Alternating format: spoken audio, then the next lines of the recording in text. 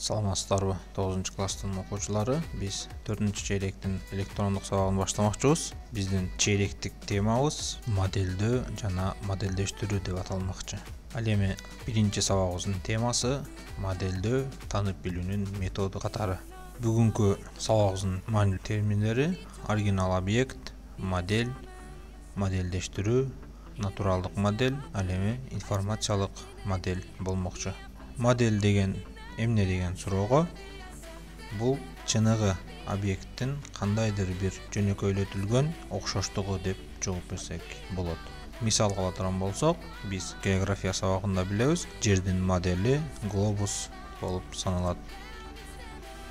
Ал эми ар кандай үйлөрдүн модельдерин биз макет түрүндө көрсөтөбүз бул дагы бир модель болушу мүмкүн. Андан сырткары адам баласынын ички түзүлүштөрүнүн модельдери бул биология сабагында биз өзүбүз көрүп жүргөн мындай адамдын моделин дагы көрсөк болот экен. Информациялык модельдердин түрлөрү. Биз информациялык моделибизди элестетүүчү модель деп алсак болот экен. Элестетүү модельдер сүрөттөр чиймелер менен берилет. Ал эми аралаш модельдер таблицалар графиктер схемалар диаграммалар болуп төрт бөлүктөн турат. Схемаларыбыз өзүнчө бөлүнүп карталар мындай айтканда география сабагындагы карталарыбыз графтар андан кийин блок схемалар болуп схемалар жалпы үчкө бөлүп кеткен. Кийинки информациялык моделибиз бул белгилик модельдер. Аларга сөздү озеки мындай айтканда андан кийин формулалар менен белгиленген модельдерибиз кирет экен бул темабызда сөз кыла турган моделибиз элестетүү модельдер болмокчу элестетүү моделибиз сүрөттөр чиймелер менен жер бетинен спутниктерден алынган фотографиялар адистерге көп информацияларды берет деп бул жайда маалыматыбызды окусак болот чындыгында эле биз э, жер бетин кандай экендигин билбейбиз бизге спутниктен алынган сүрөттөр аркылуу атайын адистердин маалыматтары аркылуу биз жер шарын таанып билгенге мүмкүнчүлүгүбүз болот экен ошондой эле асмандагы планеталардын күн системасында айлануусу планеталардын системасын дагы биз спутниктен алынган сүрөттөр аркылуу таанып билип ошолорду көрсөк болот экен. Ал эми биз буларды өзүбүздүн көзүбүз менен көргөнгө мүмкүнчүлүгүбүз жок.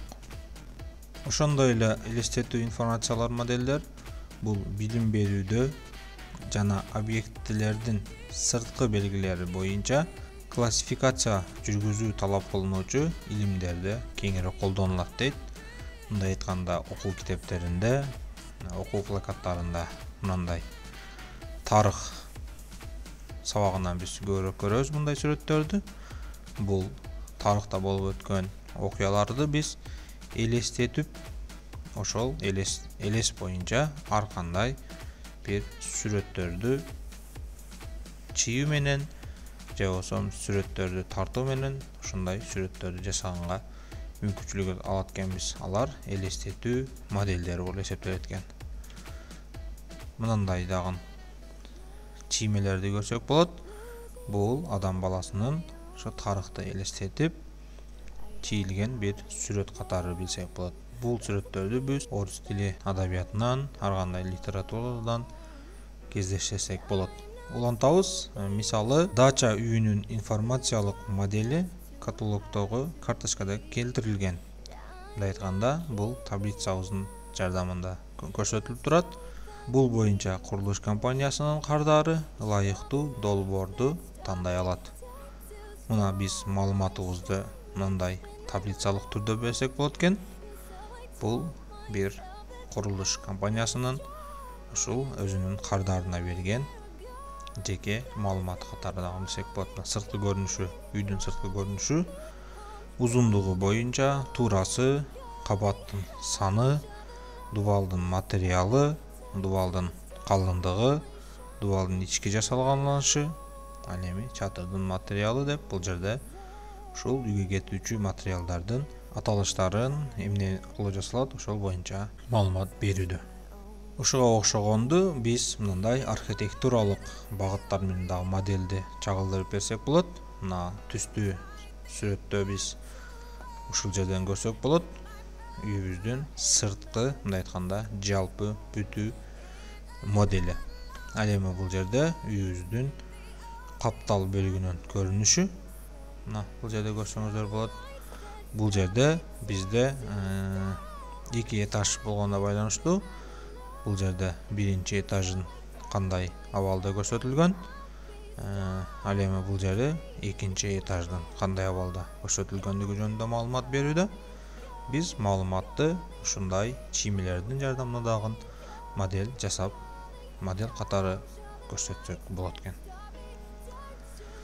мына урматтуу окуучулар бүгүнкү биринчи сабагыбыз теориялык негизде жыйынтыкталды биз бүгүн модельдерди маалымат аркылуу кандай берерин ал эми элестетүүчү маалыматтарыбыз эмнелерден турарын бир сыйра көрүп алдык кийинки сабактарда дагы модельдердин таблицалык түрлөрүн блок схемалар менен иштегендерин карталар менен иштегендерин силер менен жалпылап өтмөкчүбүз.